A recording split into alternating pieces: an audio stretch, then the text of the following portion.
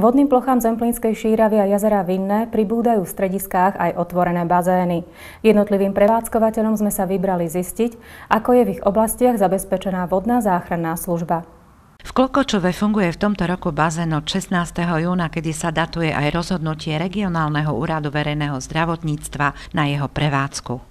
Vodnú záchrannú službu prevádzkujeme tu na len na neplaveckom bazéne, kde ju zabezpečuje plavčík, ktorého zamestnáva obec každý deň je e, v čase prevádzky bazéna, to je od 10. do 18. hodiny, cez víkendy od 9. do 18. zabezpečený plavčík.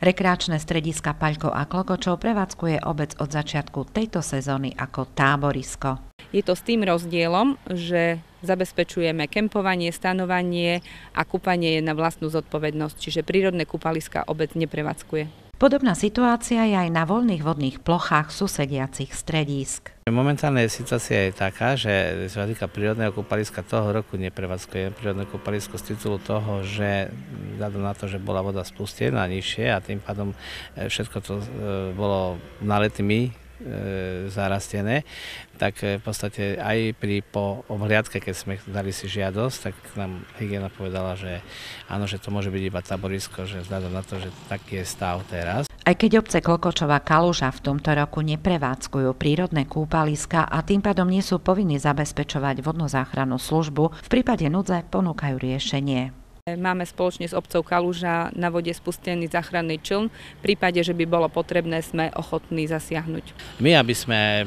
aby sme boli mobilní, aj čo sa týka záchrany na vodnej ploche, tak sme dali pripraviť a máme pripravený náš záchranný čln, ktorý je tu na Medvede hore, kde v podstate tá pláž je vhodná na kúpanie. V obci Vidné sa situácia oproti ostatným rokom nezmenila. Vodnú záchrannú službu obec Vine zabezpečuje na dvoch e, rekreačných strediskách na Vinianskom jazere a na Zemplínskej šíravej hôrke. E, v obidvoch prípadoch máme e, podpísané dohody s plavčikmi s tým, že denne od 10. do 17.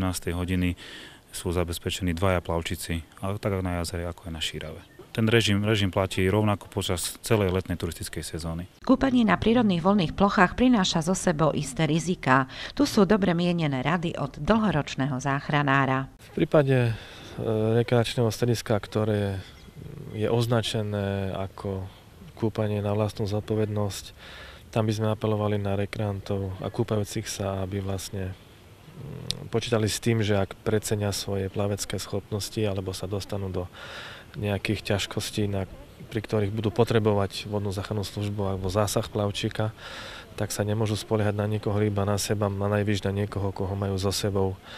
Takže doporučovali by sme plávať napríklad dvojici v trojici, nie samostatne, nepreháňať to s alkoholom alebo absolútne vylúčiť a takisto um, mať za sebou nejakú pomocku, nejakú loptu alebo niečo, čo sa môžeme chytiť v prípade ťažkosti. Aj keď v čase nášho nakrúcania počasie kúpajúcim sa neprialo, predsa sa dajú opäť očakávať horúce letné dni. V počasí, kedy teplomer ukazuje viac ako 30 stupňov Celzia, je dôležité vstupovať do vody pomaly, aby sa telo náhle neochladilo.